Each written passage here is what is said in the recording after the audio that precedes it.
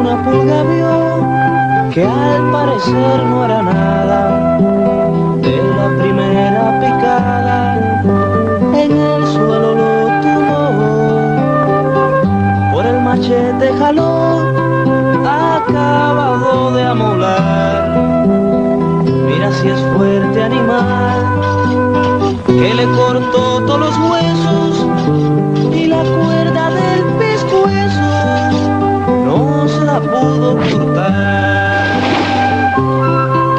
tiene ese machete? Oiga, capitán, ¿de dónde salieron los machetes?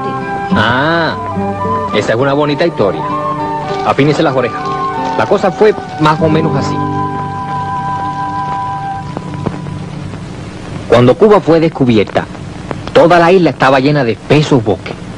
Para andar por ahí había que abrirse paso a sablazo. Pero un sable es un aparato muy pesado para abrir monte. Mejor es un machete.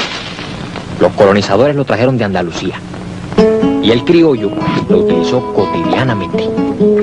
Otros se preocuparon porque los esclavos de África lo emplearan día tras día. Y a los cimarrones, el machete les sirvió para liberarse. Yo digo en la guerra, la primera carga en machete no fue en 1868, ¿no? Y un poquito antes, En La Habana, contra los ingleses. eso, en 1762, cuando el morro aún no tenía farola, los ingleses atacaron La Habana. Los criollos que les hicieron frente tenían dos compañías de macheteros al mando de Pepe Antonio. All right, gentlemen. With all your guns, fire.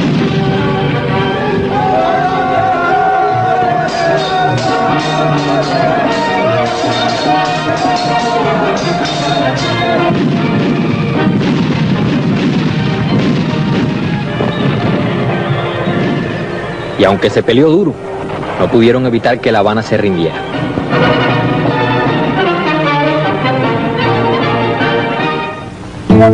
Cada región de Cuba tuvo su machete típico. Tenían distintas formas y pesos de acuerdo al uso que se le daba. El machete tuvo muchos nombres. Kimbo, Calabozo, Paraguayo, Collín, Yaguarama, Guámpara. Para probar un machete, se coge un clavo y se le da un buen machetazo. Y si el machete no se mella, El machete es un hierro, compadre. Y las cosas que puede hacer un hombre con un machete, las mujeres. va, yo he visto hombres cortar un coco sosteniéndolo en la mano. Tú dices así. Así, con el machete se pueden hacer muchas cosas.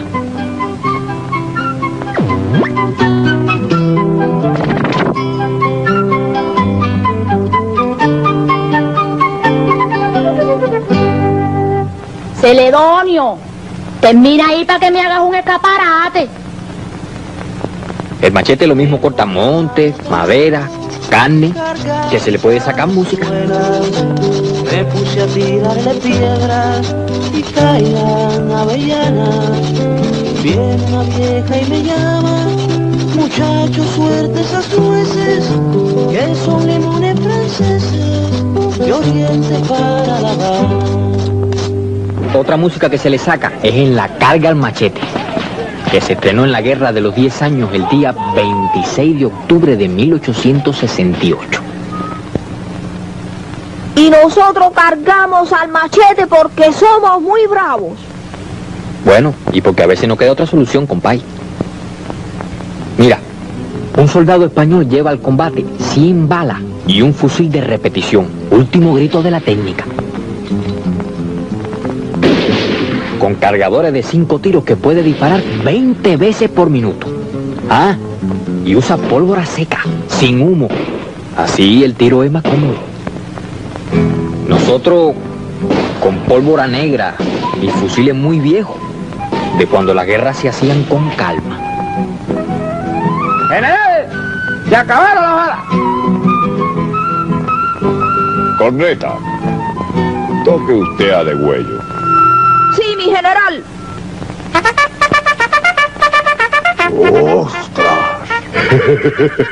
Parece que van a cargar. ¡Maldición! Esa gente oye un tiro y enseguida nos asaltan a machetazo. ¡Al machete!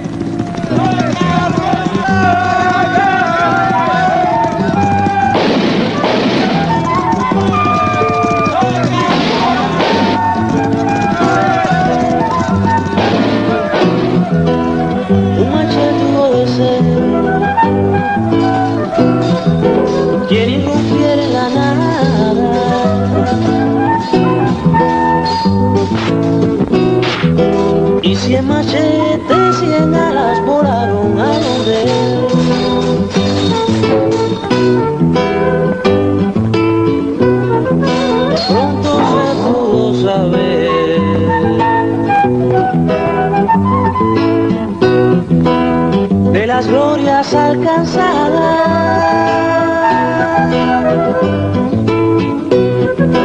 Y como polvo que no detiene su fuego miles de machetes